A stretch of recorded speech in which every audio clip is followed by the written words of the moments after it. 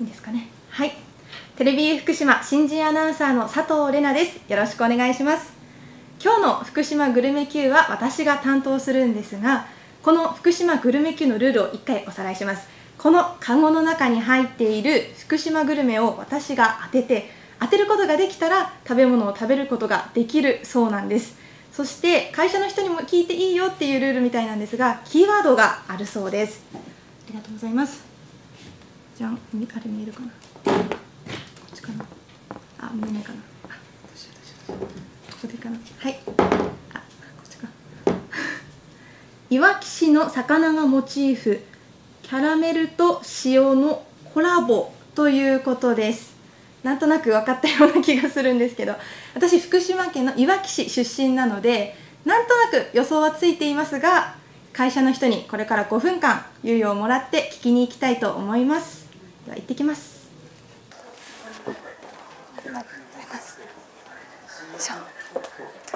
えっと、いわきの魚がモチーフということなのでいわき出身の方に聞いてみたいと思います。お疲れ様です。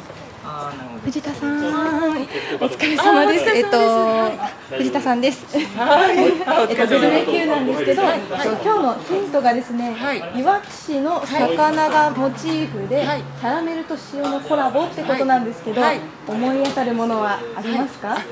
ありますね。はい。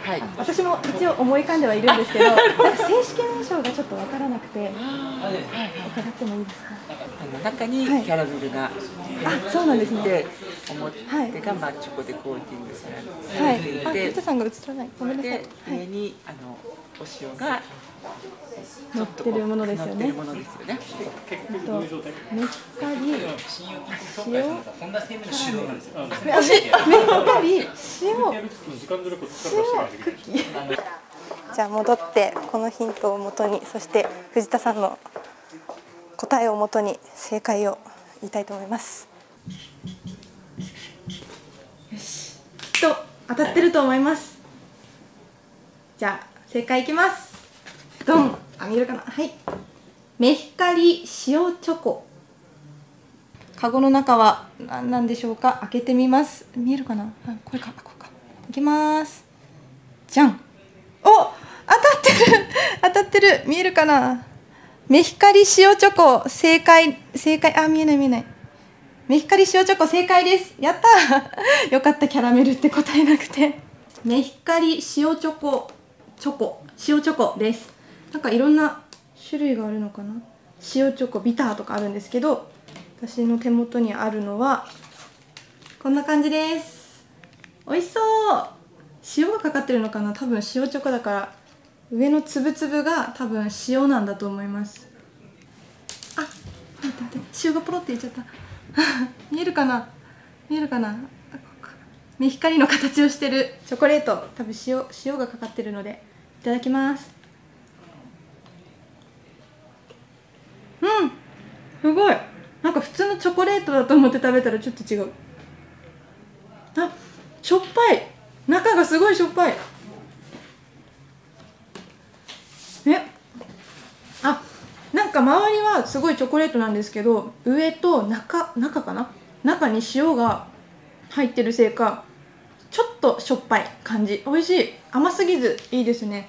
あグルメ級の正解メモが届きましたので読みたいと思います。